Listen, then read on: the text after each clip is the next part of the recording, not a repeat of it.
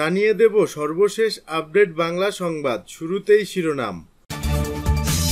আওয়ামী লীগের মতো করলে একই দশা আমাদেরও হবে মির্জা ফখরুল।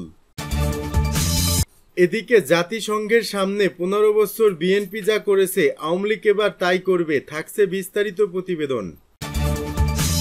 এবং সর্বশেষ জানিয়ে দেব, অন্তর্বর্তী সরকার যাতে নিজেরাই নিজেদের ব্যর্থতার কারণ না হয়ে দাঁড়ায়, তারেক রহমান।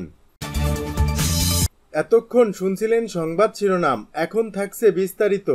আওয়ামী লীগের মতো করলে একই দশা আমাদেরও হবে, মির্জা ফখরুল। টানা পনেরো বছর ক্ষমতায় থাকাকালে আওয়ামী লীগ যা করেছে এবং যেভাবে গণ অভ্যুত্থানে তাদের বিদায় হয়েছে, সেটা বিএনপি করলেও দলটির পরিণতি একই হবে বলে মনে করেন মহাসচিব মির্জা ফখরুল ইসলাম আলমগীর। এজন্য দলের নেতাকর্মীদের সতর্ক করেছেন তিনি।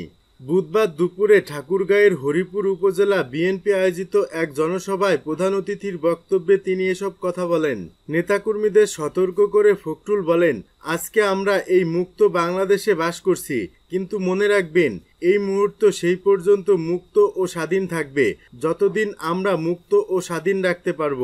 আমরাও আওয়ামী লীগের মতো শুরু করলে তাদের মতোই একই দশা আমাদেরও হবে। সেই জন্য বিশেষ করে বিএনপির নেতাকর্মীদের মানুষের ভালোবাসা অর্জন করতে হবে। কারও প্রতি অন্যায়, অত্যাচার এবং অবিচার করা যাবে না। বিএনপি মহাসচিব বলেন, ফ্যাসিবাদী হাসিনা সরকার আন্দোলনে দুই হাজার ছাত্র জনতাকে খুন করেছে।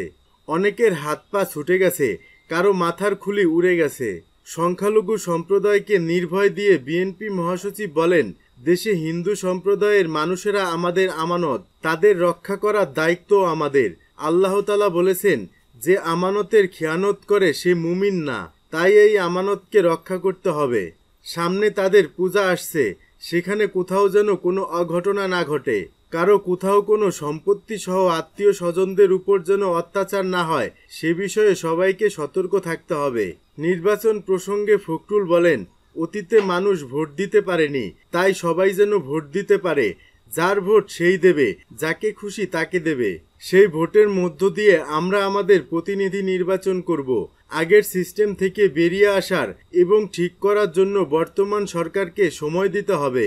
তারা নিরপেক্ষ মানুষ, কোনো দল করে না, কিন্তু দেশটাকে ভালোবেসে দেশের জন্য কিছু কাজ করতে চান।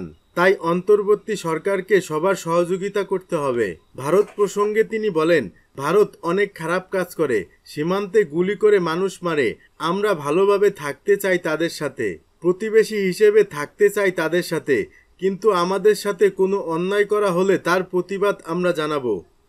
জাতিসংঘের সামনে পনেরো বছর বিএনপি যা করছে, আওয়ামী লীগ এবার তাই করবে। গত পনেরো বছর ধরে জাতিসংঘের সাধারণ অধিবেশন চলাকালীন সময়ে জাতিসংঘ সদর দপ্তরের সামনে যুক্তরাষ্ট্র বিএনপির নেতাকর্মীরা যা যা করেছিল, এবার তাই করবেন যুক্তরাষ্ট্র আওয়ামী লীগের নেতাকর্মীরা। এজন্য তারা প্রস্তুতি নিচ্ছেন। জাতিসংঘের উনআশিতম সাধারণ অধিবেশনে যোগ দিতে বাইশ সেপ্টেম্বর নিউ ইয়র্কে আসছেন প্রধান উপদেষ্টা ডক্টর মোহাম্মদ ইউনুস। তার আগমনের প্রতিবাদে জেএফকে বিমানবন্দর এবং জাতিসংঘ সদর দপ্তরের সামনে বিক্ষোভ সমাবেশ করবে যুক্তরাষ্ট্র, আওয়ামী লীগ ও সহযোগী সংগঠন। সংবাদ সম্মেলনে বাইশ সেপ্টেম্বর রোববার দুপুর দুইটায় জেএফকে বিমানবন্দরে এবং সাতাশ সেপ্টেম্বর শুক্রবার সকাল এগারোটায় জাতিসংঘের সদর দপ্তরের সামনে বিক্ষোভ সমাবেশ করা হবে। সংবাদ সম্মেলনে লিখিত বক্তব্যে বলা হয়, জাতির পিতা বঙ্গবন্ধু শেখ মুজিবুরের নেতৃত্বে এবং তিরিশ লাখ শহীদের রক্তে রঞ্জিত অর্জিত আমাদের স্বাধীনতা।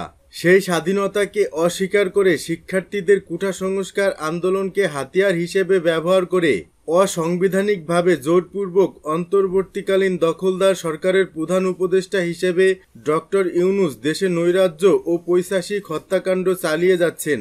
ডক্টর ইউনুস এযাবৎ পাঁচ হাজারের অধিক পুলিশ ছাত্র, সংখ্যালঘু, সাধারণ মানুষ ও আওয়ামী লীগের নেতাকর্মী হত্যা এবং আনুমানিক দশ হাজার নেতাকর্মীকে মিথ্যা মামলায় গ্রেপ্তার ও মামলা দায়ের করেছে। লিখিত বক্তব্যে বলা হয়েছে, দেশের জনগণ শান্তিতে বসবাস করতে পারছে না। অনির্বাচিত অবৈধ দখলদার সরকারের দমন নীতি ও বিশৃঙ্খলা সৃষ্টির কারণে দেশে আইন বিচার বলে কিছু নেই। পশ্চিমা দেশগুলোর মতো ডক্টর মোহাম্মদ ইউনুস জনগণ বিচ্ছিন্ন সর্বোচ্চ ব্যাংক সুদের সফল ব্যবসায়ীদের একজন। দেশ পরিচালনায় কোনো ধরনের ক্ষমতা তার নেই। নিজেই বলেছেন ছাত্ররা তাকে নিয়োগ দিয়েছেন। তাই স্বাভাবিকভাবে জনগণের নিকট তার কোনো দায়বদ্ধতা নেই। সংবাদ সম্মেলনে বলা হয় দেশের প্রচলিত নিয়ম আইন ভঙ্গ করে দেশের বিশ্ববিদ্যালয় থেকে শুরু করে স্কুল শিক্ষকদের, ছাত্রদের দ্বারা পদত্যাগে বাধ্য করার ফলে শিক্ষা প্রতিষ্ঠান সমূহে অচল অবস্থার সৃষ্টি হয়েছে। প্রশাসনের অবস্থা আরও করুন। ডিসিরা পর্যন্ত সচিবালয়ে ব্যায়াম করা শুরু করেছে, যা স্বাধীনতার তিপ্পান্ন বছরে ঘটেনি।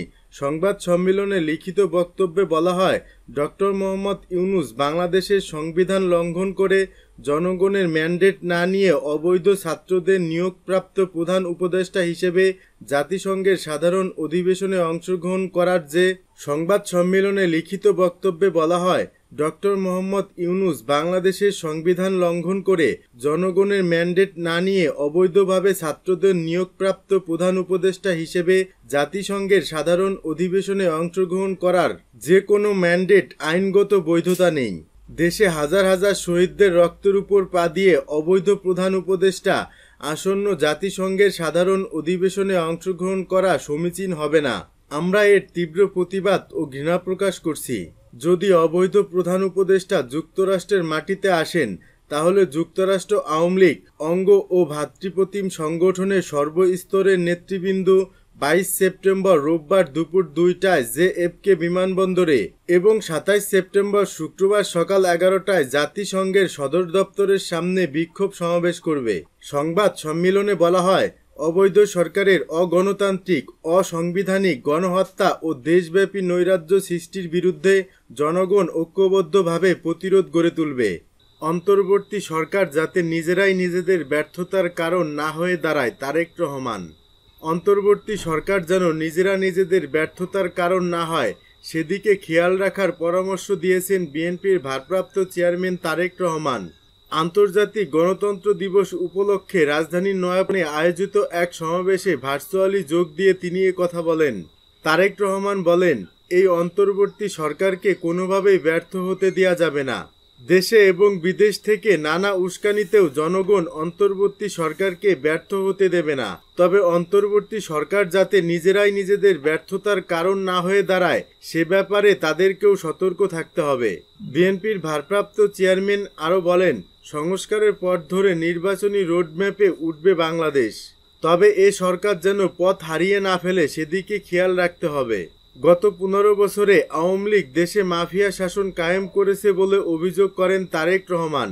তিনি বলেন, বিচার বিভাগ সহ প্রতিটি প্রতিষ্ঠানে ফ্যাসিবাদী কায়েম করেছে তারা। পতিত স্বৈরাচার পলায়ন করলেও তাদের দোসররা এখনও রয়ে গেছে। তারেক রহমান বলেন, নির্বাচন কমিশন ও প্রশাসন এমনভাবে সংস্কার করতে হবে যেন সবার কাছে গ্রহণযোগ্য হয়।